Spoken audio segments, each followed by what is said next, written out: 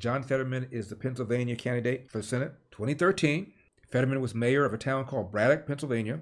He suspected a black man he saw jogging of committing a crime.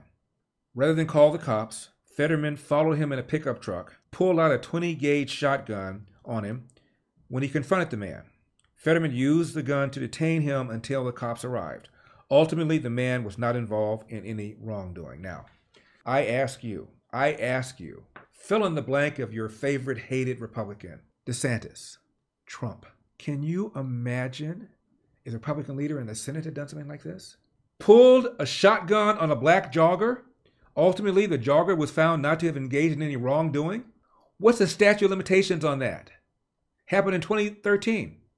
This is the first time you're hearing about it. The media couldn't care less because they want to make sure the Democrats maintain control of the Senate.